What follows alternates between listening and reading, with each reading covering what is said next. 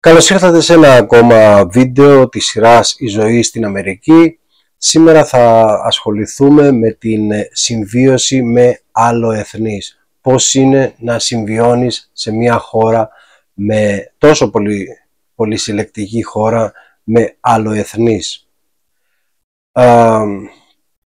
η αλήθεια είναι ότι τον πρώτο καιρό είναι πάρα πολύ δύσκολα τα πράγματα με την έννοια ότι αισθάνεσαι πάρα πολύ ξένος ιδιαίτερα αν δεν είσαι γνώστης της αγγλικής γλώσσας σε καλό επίπεδο, όπως είμαι ή όπως ήμουνα εγώ, εν πάση τα πρώτα χρόνια.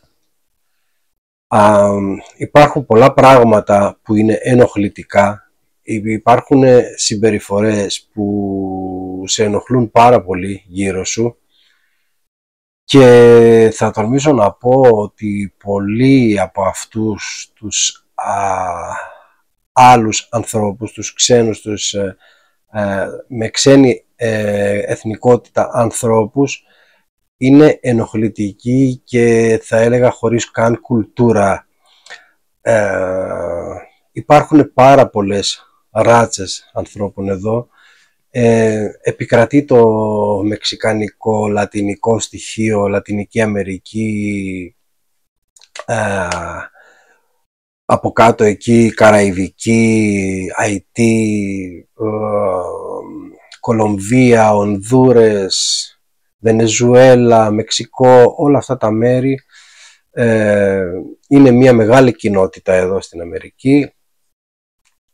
Εννοείται οι, α, οι Αφροαμερικανοί, είναι και αυτή μια μεγάλη κοινότητα. Μια επίσης μεγάλη κοινότητα είναι οι Κινέζοι, οι Κορεάτες, εννοείται και Έλληνες, ιδιαίτερα αν ζεις ε, στη Νέα Υόρκη, εκεί το ελληνικό στοιχείο είναι πάρα πολύ έντονο. Θα έλεγα ότι είναι ένας στους δέκα είναι Έλληνας στη Νέα Υόρκη και ιδιαίτερα αν επικεντρωθούμε στην Αστόρια. Ε, το να συμβιώνεις με, αλλο, με αλλοεθνείς έχει πολλά προβλήματα, διαφορετικές νοοτροπίες, διαφορετικές διαφορετικός τρόπος που μεγάλωσες, ε, άλλα ήθη, άλλα έθιμα, άλλες συνήθειες. Ε,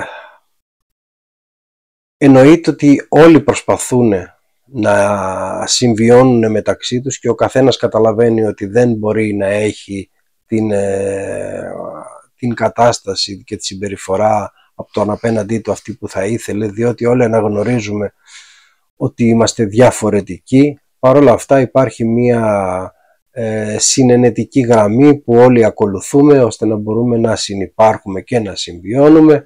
Όμως είναι δύσκολο να αποκτήσεις ε, φιλικές σχέσεις γιατί γρήγορα καταλαβαίνεις ότι αυτό δεν μπορεί να οδηγήσει κάπου.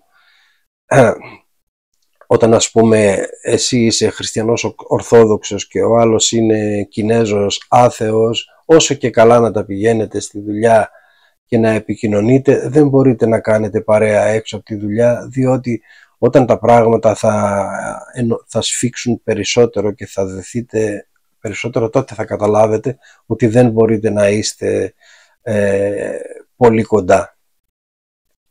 Γι' αυτό λοιπόν και οι Έλληνες εδώ προσπαθούν ε, τα παιδιά τους να τα παντρεύουν με Έλληνες όσο γίνεται γιατί το πράγμα ξεφεύγει.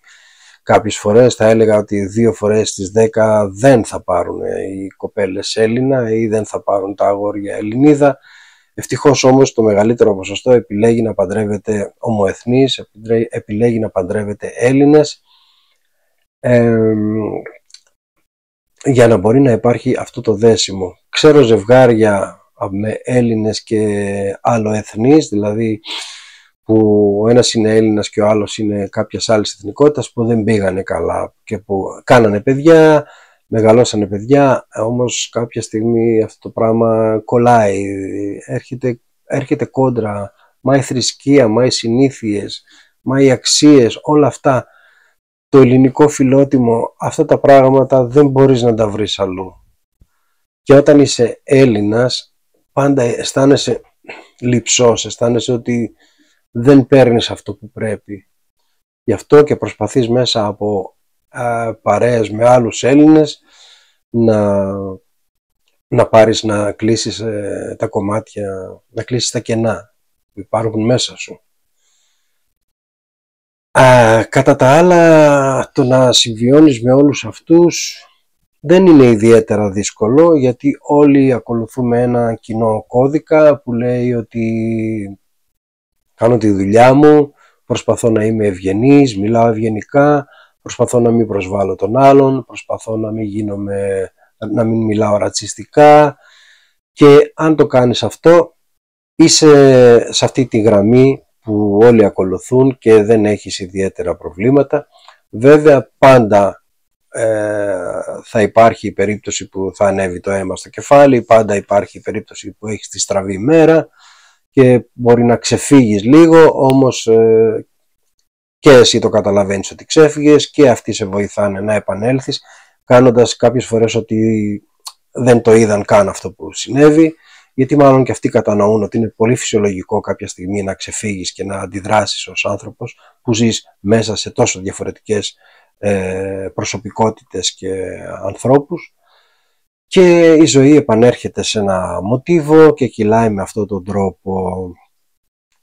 Συμπερασματικά λοιπόν θα έλεγα ότι δεν είναι δύσκολο να ζεις στην Αμερική, φτάνει να συνειδητοποιήσεις αφού περάσεις το στραπάτσο του πρώτου έτους να συνειδητοποιήσεις ότι έτσι είναι τα πράγματα και πρέπει να τα αποδεχτείς και να προσπαθήσεις μέσα από παρέες, μέσα από την εκκλησία, από τις κοινότητες τις ελληνικές, να έχεις παρέες και φυσικά μια φορά το χρόνο αν μπορείς να επισκέπτεσαι την Ελλάδα για να βλέπεις τους δικούς σου ανθρώπους και να γεμίζεις την μπαταρία σου.